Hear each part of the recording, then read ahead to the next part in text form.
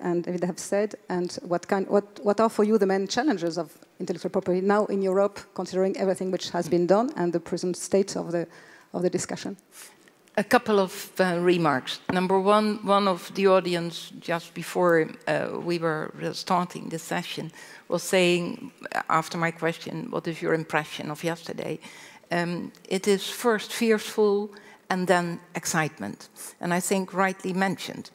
And talking about that type of line, when I was a small girl a long time ago, I always thought, what would I do if I wouldn't have fear?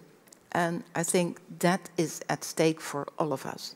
We shouldn't be led by fear, but we should do our job as well in the business world, as well in the political world. And there I have to make a couple of remarks too. For we are talking about a digital single market.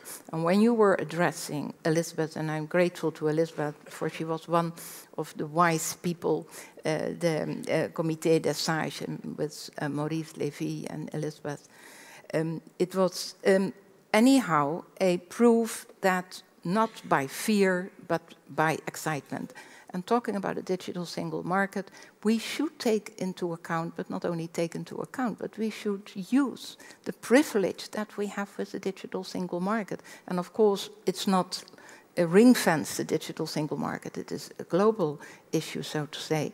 But we are open to imagination, and that should be the lead, the, the lead role. Um, when and I don't need to explain, I did that last year, that I'm completely in favor for indeed a decent remuneration for artists and creators. And I couldn't agree more with your president when he is saying if we are not feeding the artists, then it's over. So let's put that aside. We all agree on that one. I think that's a common view of everyone. Uh, yeah. So if that is the common view, and sometimes um, talking about what is really in it, it is not bad to use a couple of uh, facts and figures. For still quite a number of artists have to live from 1,000 euros a month, and that's not much to live off. Normally less than the minimum wage over Europe, so to say. But most artists, and not only the young ones, so we are not only uh, talking about startups, so to say, at the early stages of their career, have to do so. So half of the artists in the UK, half of professional authors in Germany, uh, and I'm told that an incredible 97.5% of the members of one of the biggest collecting societies in Europe receive less than paid repayment of thousand euros a month for it's their question of independence works. and freedom, as the president has said yesterday. Here we are, here we are. But if even the collecting societies are not able to give or not willing, let's put it, I promise to be fair. So if they are not willing to pay more than 1,000 uh, euros, then I think we really have to uh, take into account that um, we, we need to go to a unique sector but also with a treatment that is fair. So we need to go back to the basics, and we put the artist in the center, as far as I'm involved, not only of copyright law, by the way, but our whole policy, so to say, on culture and on growth. And we need to use creativity, out of the box thinking, far more out of the box thinking than we do so far. And I was a bit struggled and, and uh, puzzled when uh, the Hapido, uh, the, the law um, was mentioned um, as a uh, awareness tool.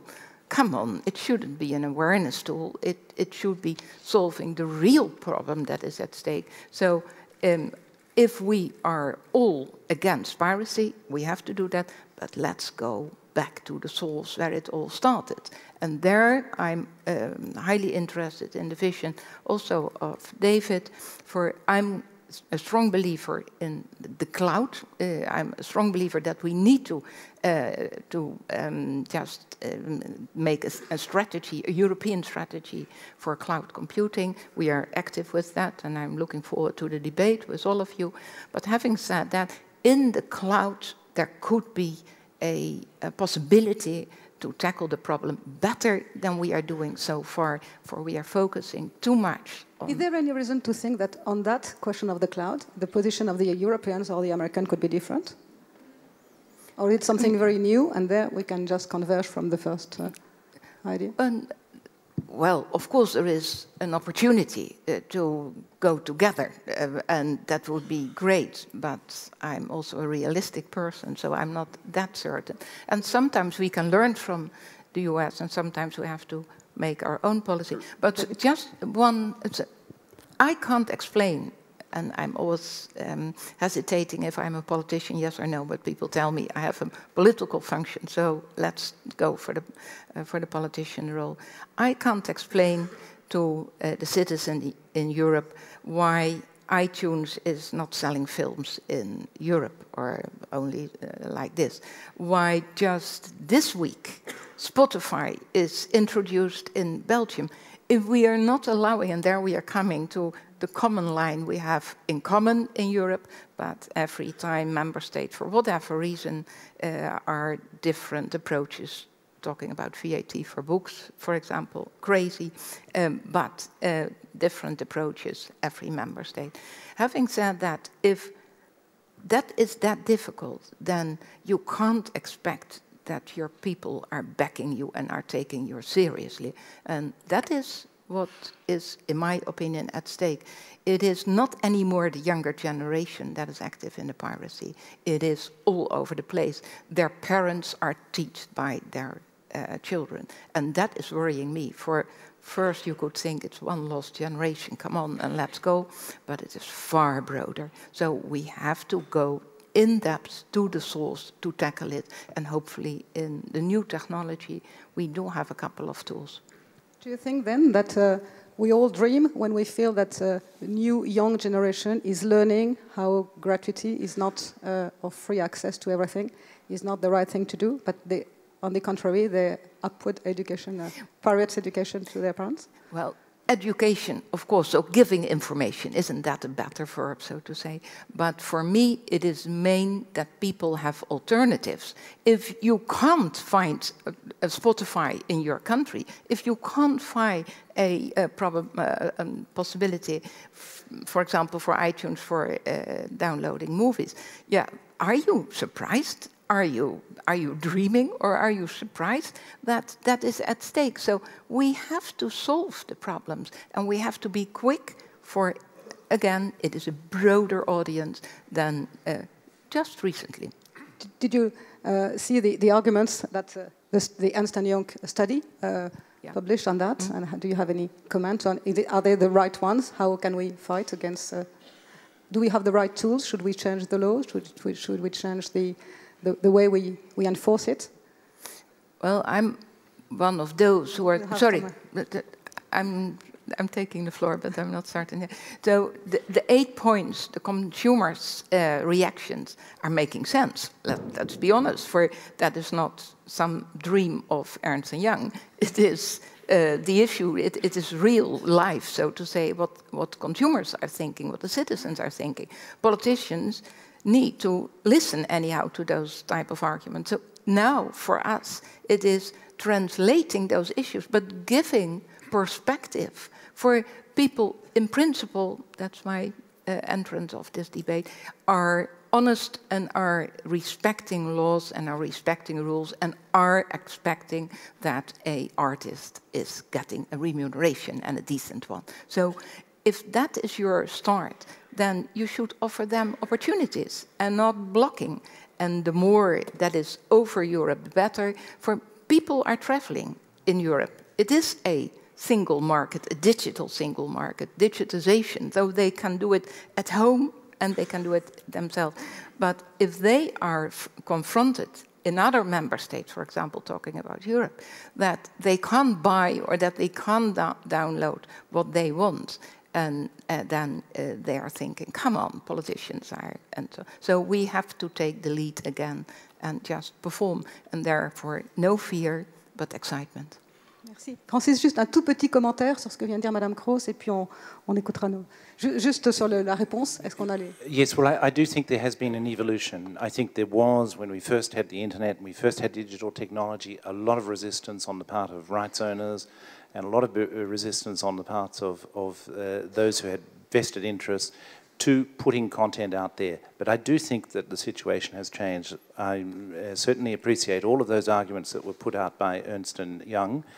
I think there has been an evolution. Uh, we are getting more and more available. I agree entirely with what Neelie Kroes says. We do need to create the infrastructure for a proper, functional digital market.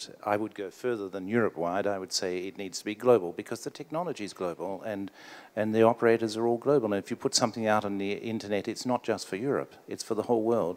So we need to create this, and that's, that's a, a big task of persuading all of the actors involved that everyone has a common interest in the well-functioning global market.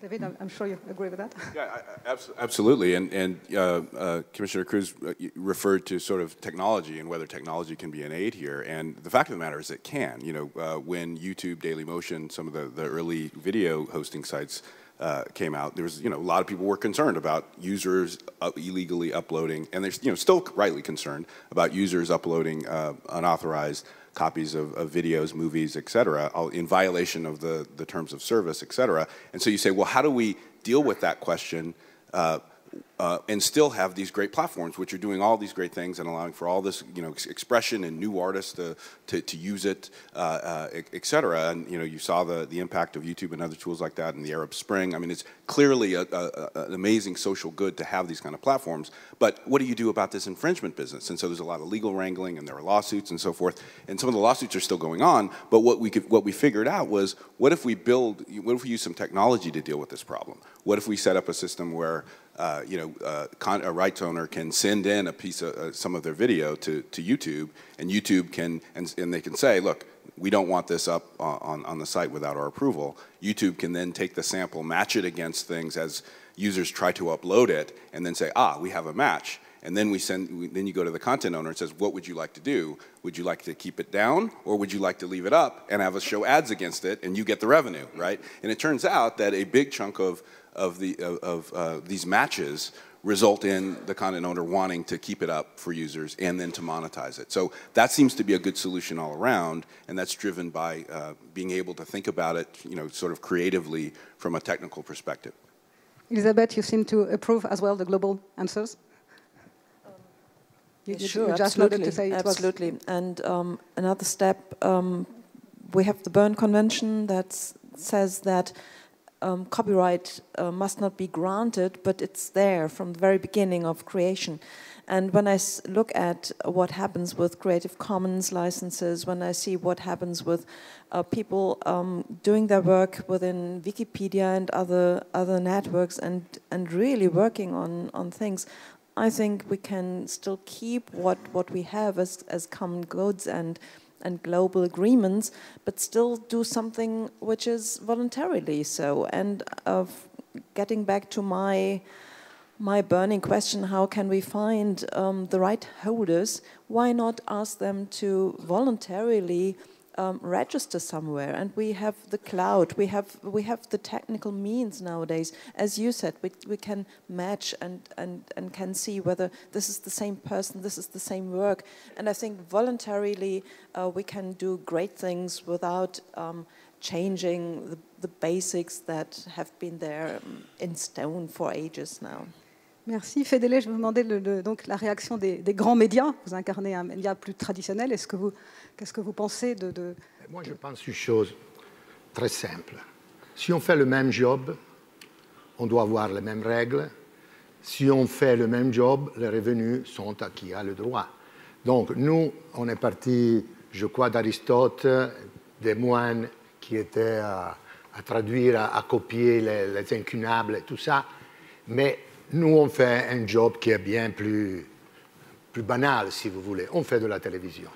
Mais si Google prend le Big Brother, pour dire le, un des programmes qui sont plus...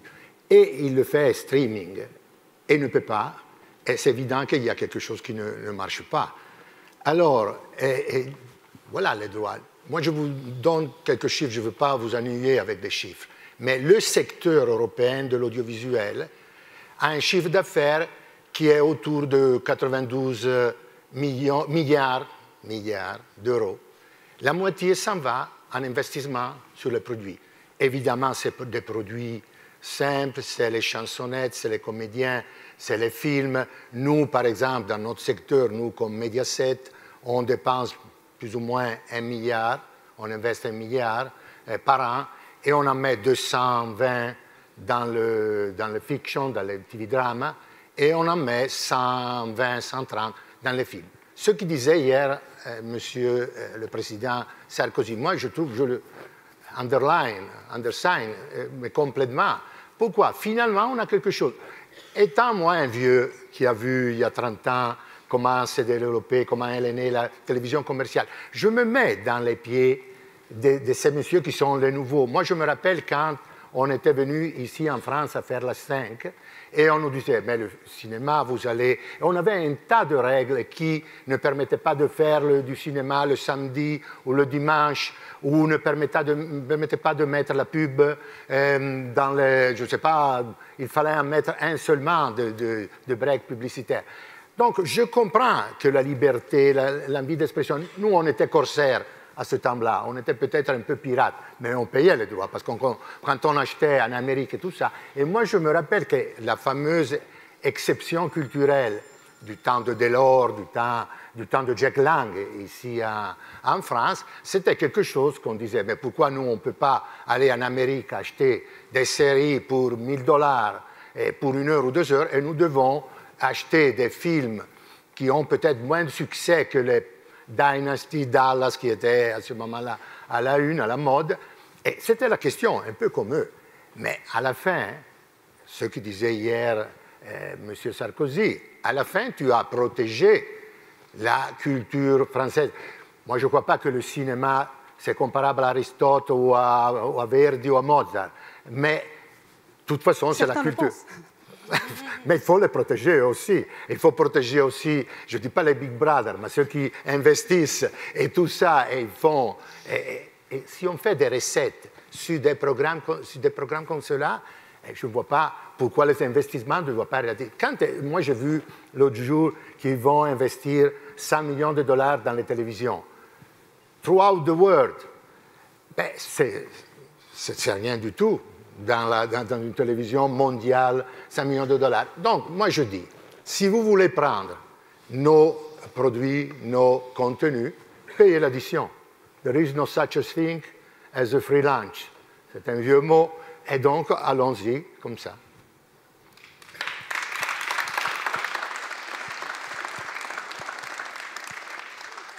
C'est vrai que le président était très soucieux du cinéma et de ce qu'on a préservé.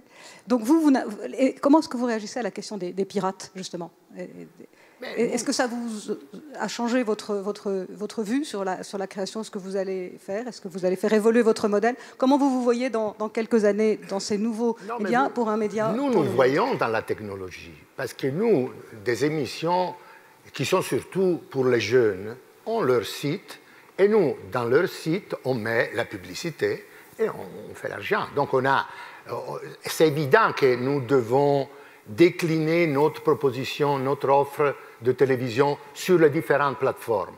Nous, on était dans l'analogue, on était euh, généraliste, on a maintenant des, chaînes thématiques, on en a plusieurs parce que le digital permet de multiplier l'offre, et puis on est dans le, euh, dans le net, l'Internet évidemment, parce qu'il y a des programmes qui sont intéressants, mais c'est quand même chez nous. Vous voyez, notre business model est, axé sur deux euh, colonnes. C'est le copyright, la propriété intellectuelle, et l'exclusivité. Si vous n'avez pas l'exclusivité, par exemple, récemment, il y a eu une question, une question qui était euh, pour des matchs de football qui était, euh, l'émission, je crois que c'était en Turquie ou en Grèce. Et c'était un match de Champions League. Nous, on paie sur les nous, Sky, euh, qui, qui fait l'émission pour l'Italie, mm, nous payons sur les 100 millions d'euros pour avoir tous les matchs de, de, Champions League. On paie plus ou moins le même, le même chiffre pour avoir les matchs de championnat italien. Si quelqu'un de la Turquie, parce qu'il a, il peut, et maintenant la technologie permet un tas de choses, et transmet le même match que chez nous, que nous avons dans notre exclusivité, c'est fini, c'est la fin des haricots. on va, on s'en va, on ne peut plus payer. et, les équipes, le football, c'est pas, je crois que quand même, du point de vue social, il a de l'importance. Mais ce n'est pas évidemment de la propriété. Mais moi, je vous répète, exclusivité et copyright. Donc, ce qui est à nous, il faut le respecter. C'est ça. Et si tu le veux, tu dois payer. Si tu veux le transmettre n'importe avec quel moyen, par dans le ciel, sous la terre, parce que maintenant c'est partout, digital ou pas, mais tu dois payer. C'est ça. Et ça, ça, relève du cadre réglementaire, de la loi. Vous, pensez que l'environnement législatif que Mme Creuse décrivait est adapté Mais Mme Creuse a fait des gros efforts. Moi, je partage par exemple, elle a fait une belle chose, le Digital Agenda. On s'est réunis deux fois à Bruxelles avec les CEO des télécoms et tout ça. Et son but, c'est de développer les usagers, multiplier. moi, je crois que le, mot, c'était Every EU citizen must be digital. C'était ça le, mantra. Donc, every European should be digital in 2013. Yeah. We're on the way. Et ça, c'est formidable. Et nous, on partage bien, bien sûr ça. Mais il y a des règles, par exemple, parce que ce n'est pas seulement la question de la culture et tout ça, la protection des mineurs, euh, c'est une chose importante, et il y a les cinq points de la, de la commission qui sont partis. Il y a le Green Paper, il y a des directives sur les missions, non seulement, il y avait la direction de la télévision sans frontières, années 90. Et puis il y a maintenant une autre euh, directive sur les médias et les, nouveaux modèles qu'on voit comme ça. Et, tout ça, c'est bien. Mais ce que, par exemple, ici en France, il y a une belle chose, c'est la, la, DOPI. Et on en parle aussi dans, la, dans le rapport qu'on a vu avant. Et c'est quelque chose quand même seulement pour l'usager final. Et moi, je crois que c'est bien qu'on va, euh, surtout sur les jeunes qui n'ont pas fait les sacrifices qu'on a fait, surtout ceux de, ma génération, que je me rappelle quand un disque coûtait 3 ou 4 000 lire et vous aviez euh, le prélude de l'après-midi d'un fond. Et ce n'était pas une symphonie, c'était seulement un disque, je me rappelle, 25 cm de, de euh, temps du vinyle, c'était le temps de la préhistoire en, parlant avec ces jeunes hommes. Mais je veux dire que si vous voulez les habituer à effacer le mot gratuit, ou tout au moins gratuit pour certaines choses, mais ajouter qu'il faut payer quelque chose. Voilà, il faut le Et moi je trouve que c'est bien pour ça, parce que c'est comme un rappel quand on est sur l'autoroute, attention que tu vas à 130 ou à 140. Ça c'est bien. Mais ce n'est pas euh, le goal, le target, le but final, ce n'est pas ceux qui font le piratage. C'est seulement l'usager final qui ne sait pas. voilà, moi je crois que c'est dans la bonne direction. Et puis, moi je, crois que politique d'abord dans toutes les choses. Nous, on peut faire nos modèles. Ceux qui font, se font la concurrence, euh, ceux qui sont dans le plan économique veulent gagner tout ce qu'ils peuvent veulent être monopolistes, parce qu'on est tous pour la concurrence, mais si on pouvait être seul dans le monde à faire payer ce qu'on veut, ce serait le, bien absolu. Mais à part ça, à part ça, c'est la politique qui doit intervenir et dire, bon, les, conflits d'intérêts doivent être réglés comme ça. Merci beaucoup, quelle jolie transition.